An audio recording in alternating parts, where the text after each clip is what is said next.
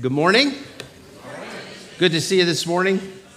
Um, I know our bulletin says that it is still February, um, but I don't want to point out that, that there's a mistake in the bulletin. But it, and I won't say that it was Stacy's fault. Because nobody likes to have the whole church know when you made a mistake. And that never happens to me, Stacy. I never make a mistake and everybody knows it right then. So, like uh, starting five minutes after the. Like, yeah, like starting late. I looked up and, and uh, so, but good morning. We're glad that you're here. Uh, I'm Pastor Don. There's a welcome card in the pews. And if you will uh, fill that out, get your name on there. Uh, and drop it. Our offering boxes are in the back on each side. And if you will uh, drop that in there, whether you're a regular attender, member, or just a guest this morning, uh, I like to pray uh, for you by name. So please drop your uh, name in there. And a prayer request if you have one, or just your name, I'll pray for you. Um, but uh, we're going to start our worship, and Brother Phil is, is going to gonna open us with a word of prayer. And so, would you stand with, with him as he leads us in prayer? Father in heaven, we thank you, Lord, for the opportunity to be in your house. Lord, we thank you for the sunshine today. Lord, just pray that you would bless us as we come to share in worship, to share in fellowship, then mostly to worship you. We thank you, God, that you give us a song to sing. Lord, I pray that you would just uh, would infuse this place with your Holy Spirit this morning. In Jesus' name we pray. Amen. Amen. Our scripture reading this morning comes from Ephesians chapter 2, uh, beginning in verse 21. In him, meaning Jesus, the whole building is joined together and rises to become a holy temple in the Lord. And in him, you too are being built together to become a dwelling in which God lives by his Spirit. This is the time where we just get still before the Lord. I want to invite you to uh, join me in bowing your head before uh, the Lord and reverencing Him. If you have room in your pew, you're certainly welcome to uh, kneel uh, as well as we uh, go to the Lord.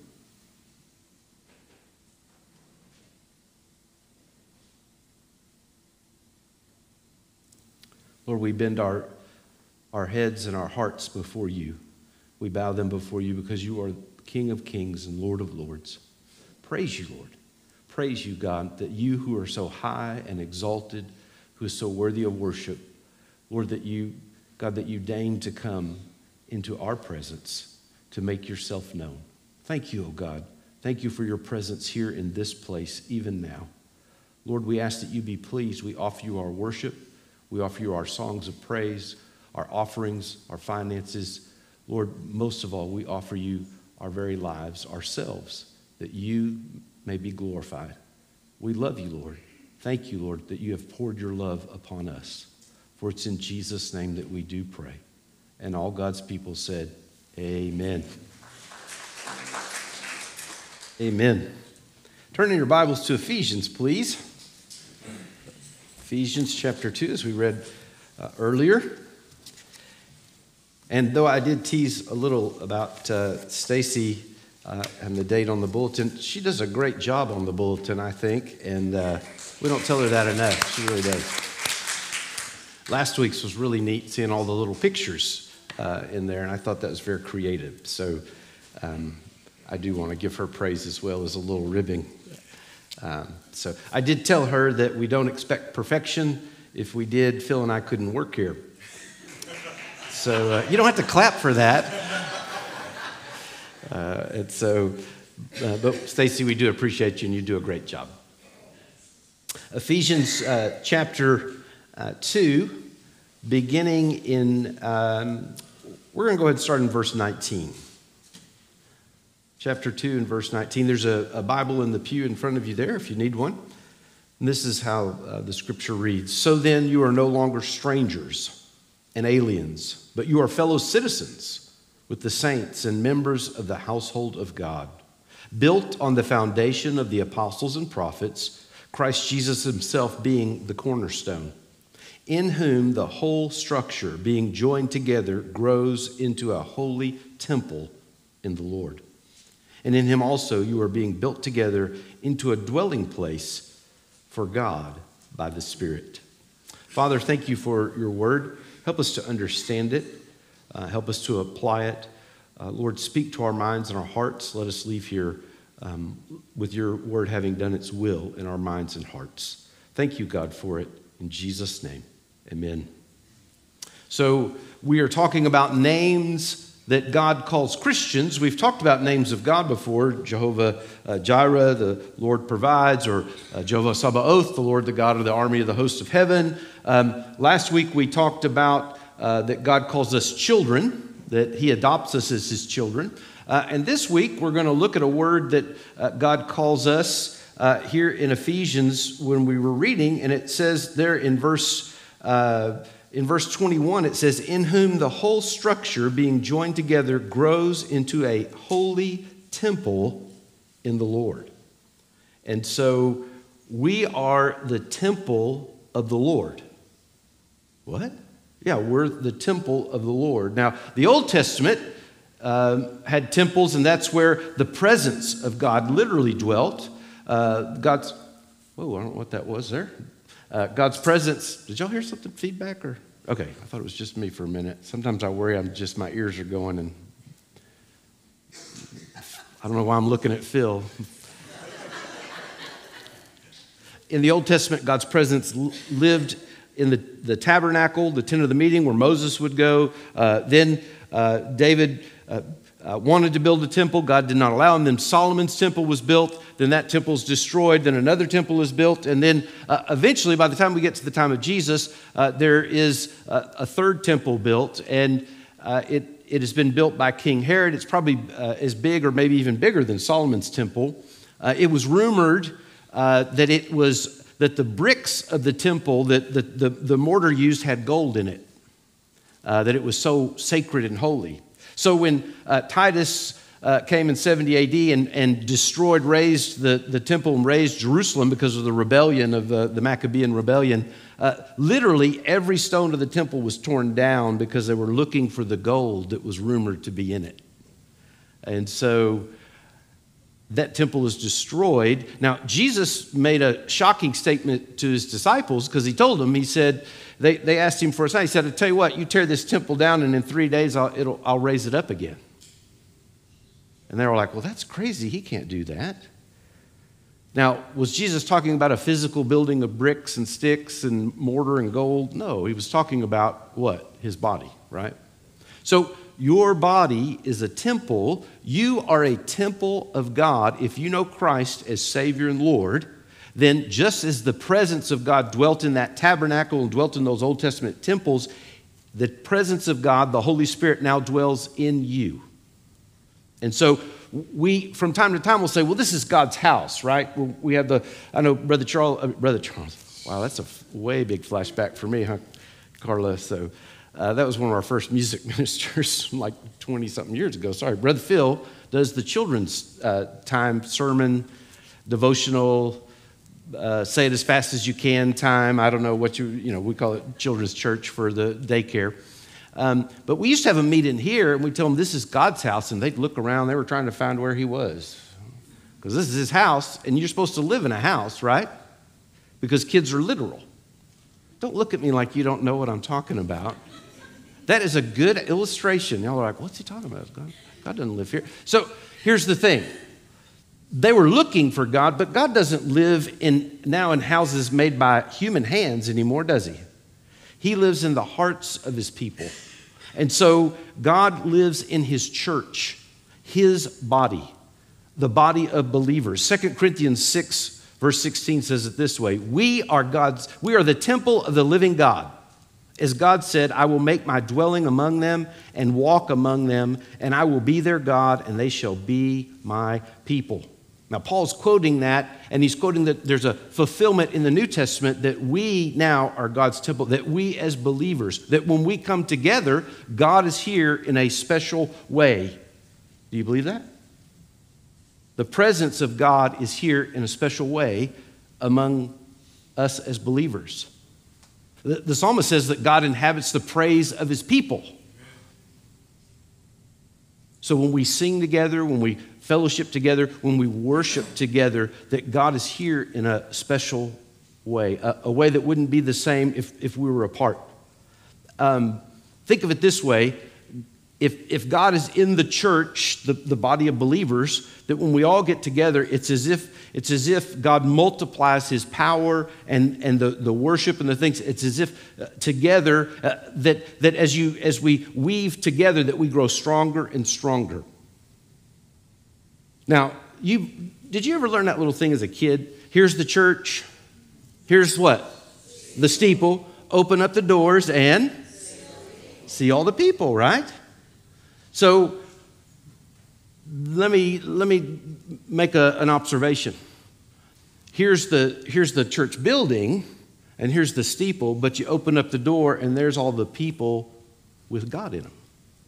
Because God lives in each one. In the Old Testament, think of it this way in the Old Testament, God had a temple for his people. They would go there and worship. In the Old Testament, they had a temple. They would go and they would say, God is holy, and they would go and they would worship and make sacrifices, and they would go and pray, and they would be there. In the New Testament, in the New Testament, God has a people for his temple. In the Old Testament, God had a temple for his people. In the New Testament, God has a people for his temple. In other words, God puts his spirit in everyone who is a believer. Now, think about that just for a moment that we as a church together have the presence of God. But, but God doesn't just live in the church, all of us together when we get here. He lives in each of us individually, right? He lives in his church, but he also lives in individual Christians. So if you've trusted Christ as Savior, if you've made a, confession, if you've called upon Him to save you and surrendered your life or, or uh, made that commitment to Him, if you, what I call having an I do moment with Jesus, if you've done that, and the reason I say I do is no one's just always been married, right? Phil, how long have y'all been married? Sorry. Rhonda, how long have y'all been married? I don't want to get Phil in trouble. 47. 47 years. So at some point, 47 years ago, Uh, y'all stood up in front of a preacher and family and friends and you said, I do, right? Did y'all really? Okay, y'all did say I do, right? So you made that commitment, and the preacher probably said something before God and these witnesses, right? Because God's presence was there. But you had that I do moment. So to be a believer, there has to be a, a commitment. You don't just, just say, well, you know, I've just always been a Christian. No, there has to be a, a moment you say, you know what, Lord, I want you to be my Savior, my God. You make that commitment to Him. So each Christian is, is someone that, that has a relationship with the Lord. And if you have a relationship with the Lord, you're his temple. What? Well, 1 Corinthians chapter 6. Now we're in Ephesians, you can stay there, but let me read 1 Corinthians chapter 6 to you, verse 19. Do you not know that your body is a temple of the Holy Spirit within you, whom you have from God, and you are not your own? Now hear that. Do you not know that your body is a temple of the Holy Spirit within you? whom you have from God, and you are not your own. Therefore, glorify God in your body. Hmm. God purchased you, the Holy Spirit. If you made a commitment to the Lord Jesus, then God lives in you, and no longer are you your own. See, here's the thing for a believer, especially, God created you and made you to have a relationship. And once He has that relationship, your life is no longer your own. Your flesh and blood is no longer your flesh and blood. It belongs to the Lord. The Bible says we can either be slaves to sin or slaves to righteousness. Now, I know slavery is not a popular thing uh, these days, but can I tell you something? The scripture says we are either slaved by our passions, our lusts, by, that, that, that even though we think we can kind of control it, it eventually will control us, or we can give ourselves up and surrender to the Lord Jesus and become his slave his servant, ultimately his child, and his temple, and overcome the sin and lust and power. You see, Christ, when he lives in you, all the power of God is available to you. He lives inside of you. That means his love, his purpose, everything about you, all your identity is based on Christ living in you if you're a believer. When, when we become His church, when we become His temple, everything about you now reflects a relationship with Him and His power, His love. He, he is so powerful, He even changes your want to. What? I mean, this, he is so powerful that he even changes your want to. Sin isn't as fun as it used to be. I'm not saying sin is never fun or we'd never do it. But sin isn't fun like it used to be. In other words, I can maybe step in sin, and, and, but then I'm sorry I did. I can't walk in sin anymore. Why? Because my want to has changed. See, once the Holy Spirit lives in you, your want to changes. What do I mean by that? I mean, I can't take a, a beer now and drink it up and say, mmm, I love this beer, go, go, go, go, go, go because I can say, well, Holy Spirit, here it comes. I know you want this. No. The Holy Spirit doesn't want that. He's told me not to partake of that.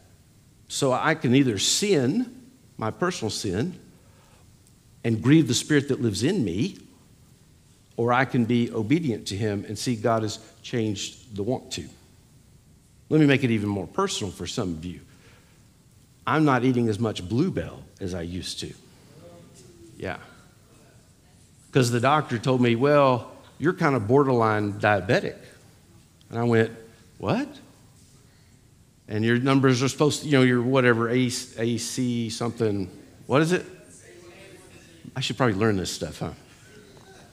And my numbers are in this range. I'm, I'm in the pre diabetic whatever state. You know, I'm not, but I could be. And so, so they told me to, you know, exercise and lose weight and, and you know, all the things doctors always tell you. Don't you hate them? And, uh, and so I'm not eating. And, and, it, and part of the reason I'm not is not because I don't love Blue Bell anymore, it's because I love the Lord more. And he kind of told me, he said, look, if you're not going to be healthy, I can't use you like I want to use you.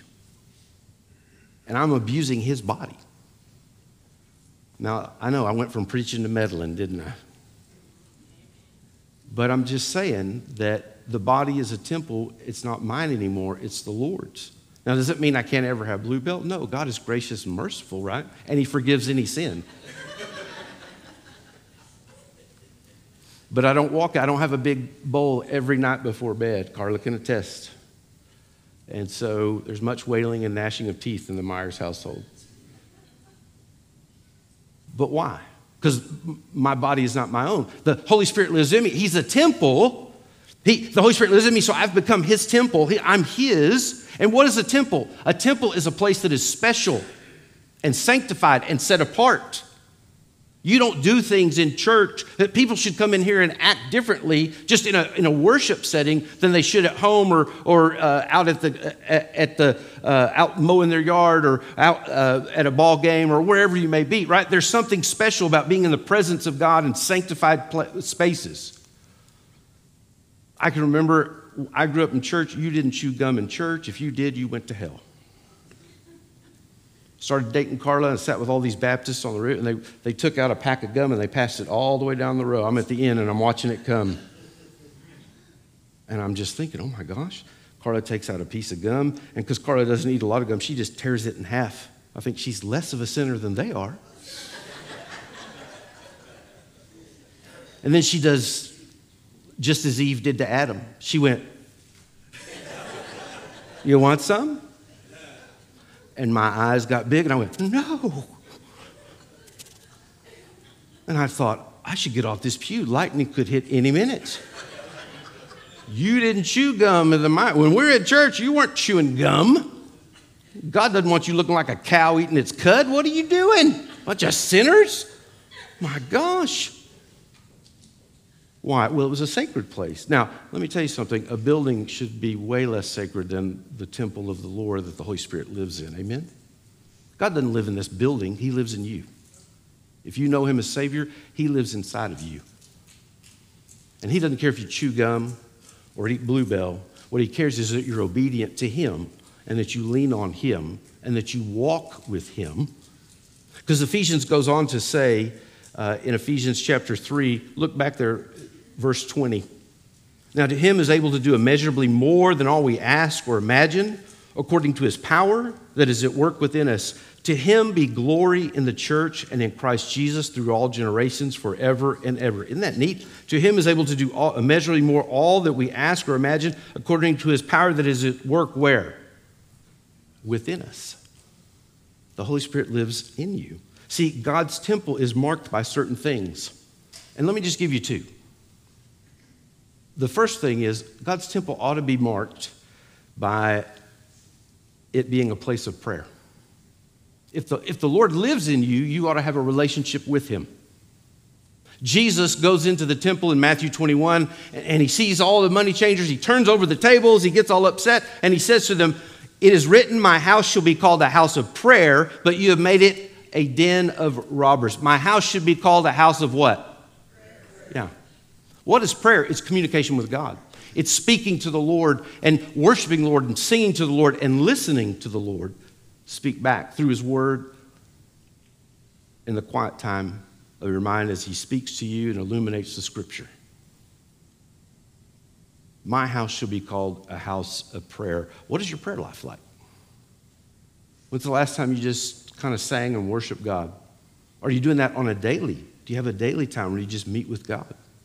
When the early missionaries got to Africa, they, they, they couldn't build churches, they couldn't do anything. Africa was, was, uh, was a place where missionaries literally went to die. From the West, they didn't have the immunities to the diseases and those things. So when families would send their family to be missionaries, they, they would say their goodbyes, not just because goodbye, we'll see you when you come back. It was goodbye, we'll never see you again. At the turn of the century, I mean, the, the, eight, the 19th century, they called it the missionary graveyard, Africa. So when those missionaries were there, they would, they would go out and they would share the gospel and they would teach the people. Now, they didn't build churches because they didn't have time. They knew they'd die anytime. What they taught them to do was spend time with God every day in prayer. So, in parts of the country where the, where the, uh, the bush was, people would walk out and find a spot by themselves to pray quietly so they could be alone with God. And they would go to the same spot every time. Pretty soon they had a little trail there beat down all these Christians going out finding spots and, and trails beat down. And, and there was just a, a, path, a little dirt path where people would go to pray and you could find the inn and this is where they pray. And say, oh. Now, if any Christian started neglecting their prayer life, people knew. And someone would gently encourage them and they would say something like, Well, brother, the grass grows thick on your prayer, prayer path. How are you spiritually? Oh, that if we had prayer paths today and you could see when your preacher doesn't spend enough time in prayer, how embarrassed I would be, or if I could see where you haven't walked and spent that much time with the Lord, how embarrassed we would be. How much time do you spend? Have you made it a commitment to say, God, I'm going to spend some time with you, this amount of time every day? And I'm going to pray and I'm going to worship, I'm going to read your word, I'm going to listen for you to speak through it. The early Christian churches were people, not buildings. You're the church, you're the temple of God. You, is your life marked by prayer?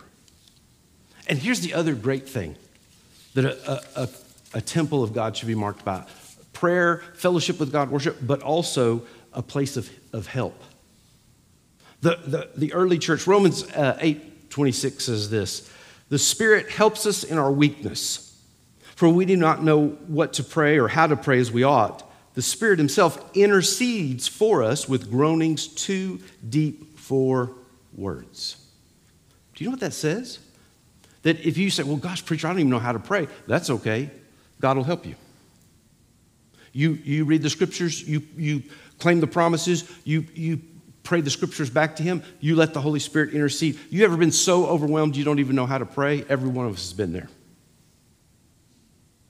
The Bible says that because the Spirit lives in us, He intercedes for us. He says He searches the thoughts and our, the, our, our minds, but He also knows the mind and the heart of God. So He knows how to pray and how to speak. Isn't that great? The, the Bible says that Jesus right now is sitting at the right hand of the Father, ever to make intercession for you and I, for me. Isn't that great? What that means is the Holy Spirit right now is praying, and Jesus is praying to the Father, asking Him to bless you Two out of three of the Godhead seeking the Father's will in your life. Isn't that great? See, when you're a temple of God, you're not on your own. You're not alone. Sometimes we need a little help. And it's good to know that the Lord has not left us as orphans, but He's there. I, we've got a video, I, I, think, to show. Do we have a video we can show, Nelson? Will that work? Okay. If we can, let me, let me watch this video with me for a minute, if you would.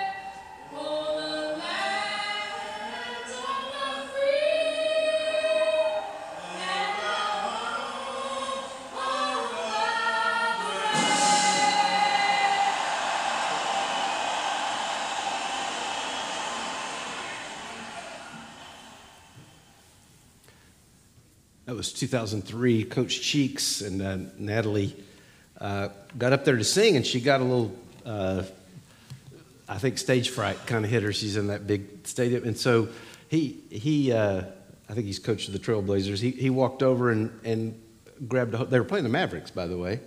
Uh, but he grabbed, grabbed a hold of her. Did you see how he started singing with her? And, and she still was stumbling, right? And he was helping her. And, you know, the Bible says that the Holy Spirit is our helper. And I thought, what a great picture of what God does. We know what we should be doing, and somehow she just couldn't get it done. And yet, there came that coach, and he put his arm around her and he sang with her. She didn't know him from Adam, she'd never seen him before. But he started, and he was feeding her the lions. Did you hear? And then she, she started, and then sing. And then, did you hear the crowd though? At first, they were like, oh. And then, then they kind of cheer. Then, did you hear that they all started singing with her. So, so that coach changed it from her just being a deer in the headlights and, and falling flat on her face to singing with her. And then he kind of does like this, and then everybody just starts singing, and then the cheering and the crowd. And she went from being all alone by herself a failure to having someone come alongside of her and everybody singing with her. And it's a memorial, it's a great thing that we remember and we can look at and we can say, what a great picture of how everyone came together to help that girl. Friends, when the Holy Spirit lives in you, He's a helper. He comes alongside of you and He helps you in your weakness and He helps you overcome what you yourself could not overcome. And not only that, there are other believers out there that will stand and sing with you when you feel like you're the only one who stands for what God believes and the truth of God. You are not alone. You are a temple of God. The Holy Spirit lives in you, and God is building us together to become a, a glorious temple for the Lord. And someday He'll come back and receive us, His people. But until that day, he's left the Spirit. The Bible says he's left his Spirit in us. First Corinthians says that. Ephesians chapter 1 says it. He's left his Spirit in our hearts. Isn't that great? You're going to go out, and it's going to get tough to sing praises to the Lord this week. Because I tell you what, the world's going to intervene, things are going to happen, trains are going to blow up, somebody's going to use the wrong pronoun. I don't know.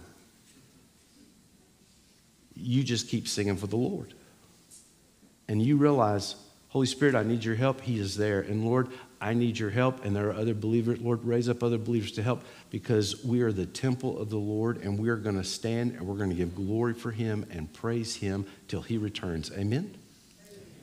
That's who you are. You're a child of God, but you're also a temple of the Holy Spirit who lives in you. Wow. You're ready for this week. You're, you have the Holy Spirit in you. You're his temple. He goes with you wherever you go. Praise the Lord. Amen? Amen. Oh, come on. That's good preaching. Amen? Amen? Lord, I thank you for your word. I thank you that you live in us. I thank you, Lord, that you have, you have plans for us to become something great and beautiful like a temple. But I thank you that you have not left us as orphans, that, Lord, you are inside our hearts. And that, Lord, when we stumble, just like Coach Cheeks there, Lord, you come alongside and you put your arm around us and you help us, Lord. You help us give you the glory and sing to you, achieve what you have called us to do, to share our faith, to love someone who's not easy to love. Lord, you, you give us the strength and the power because you're Almighty God and you live in us. Thank you, O oh God. Thank you that, that we're your temple. Thank you, Lord. Thank you for your presence and your peace that is available to us as believers. For it's in Jesus' name we do pray. Amen. I'm going to ask you to stand. We're going to sing a hymn of commitment. If you don't know Christ as Savior, if you've never had that I do moment I spoke about, this time is for you. Maybe you're just carrying a burden and you'd like someone to pray with you. You'd like someone to come alongside you. I, would be happy to, to pray with you, whatever your, your need is. Um, but you come, you come as, as we sing. Amen. Amen. You may be seated just for a moment. And uh, we have uh, Wayne and Ruth Vaughn are coming uh, uh to, if y'all will come up here. And uh, Wayne and Ruth are uh, coming from a Sister Baptist church, First Baptist, and Wayne was pastor there. He is now helping his brother take care of his brother in, in poor health here in uh, Terrell. Well, Terrell, yeah. Isn't it really? Uh, Able Springs. Yeah, Abel Springs. So, but uh, not to get too specific, but uh, uh, they have been members here a long time ago before God called them to preach and to the ministry. So we're glad to have them back again. Now, Wayne uh, and Ruth, we have a, a, deacon and his family that. Uh, who will that be? Okay, Dub and Brianna, and they're uh, assigned to pray for y'all for the next 60 days we know this is spiritual, and you know this, that, that yeah. you're following the Lord, so Satan's going to try to somehow throw a roadblock in that. So they're, they're just kind of your personal prayer warriors to ask the Lord to pr- protect you and hedge you about. And so, of course, you know Dub and Brianna. So, and so, uh, if you're excited about that, would you say amen? I'm excited. And we'll let you come by and shake their hand. You can clap. I tell you what, it takes a lot of courage to look at you people. It's scary up here. So uh, you can come by and shake their hand, hug their neck, tell them how proud you are that they want to be part of our fellowship. Uh, and we'll, uh, we'll be dismissed in prayer. I'm going to ask. Couple quick words. Oh, I'm going to ask. Next, week, yep. next Sunday is time change Sunday. Make sure that you have your clocks set back. And gentlemen, we forward. Oh, set forward, yes. Set forward. Spring forward. Spring forward. We lose that hour. but uh, remember that, and, and men, this is the greatest time to have prayer breakfast ever. You lose that hour yeah. tonight. We're going to be here early. That's right. Prayer breakfast next Sunday. So. We'll, we'll, see if their prayer trail looks beat down to men's breakfast. So, so uh, but we're going to be, why don't you stand with us? Thank you for those announcements. I forgot that, Brother Phil. But it is time change. So don't, uh, don't forget, please spring forward. Spring forward. And, uh, and we'll see you here next Sunday. Uh, Dub, will you close us in prayer, please?